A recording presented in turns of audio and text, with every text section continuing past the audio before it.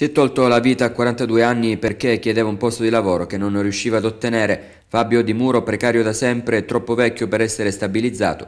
In preda alla disperazione ha deciso di farla finita nella sua auto a Qualiano di Napoli, a due passi dalla stazione, lasciando una lettera in cui ha raccontato la storia della sua vita da vigile del fuoco in cerca di stabilizzazione, mai arrivata la delegazione regionale calabrese dei Vigili del Fuoco ha voluto ricordarlo in una manifestazione a Catanzaro.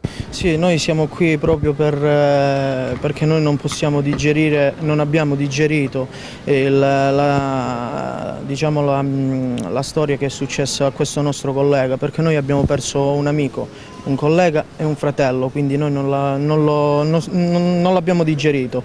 Noi in parecchi comunicati abbiamo praticamente eh, preventivato quello che sarebbe successo se praticamente non si risolvesse pro, questa problematica, voglio dire.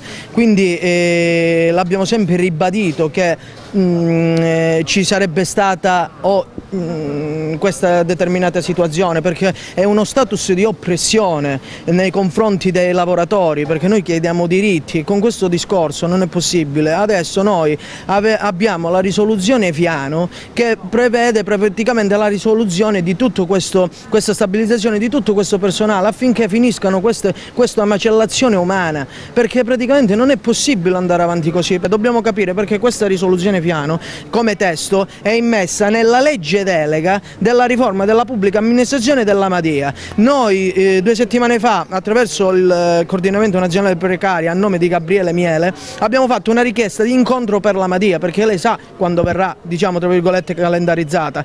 Quindi dobbiamo cercare di capire questa, questa, uh, questa cosa.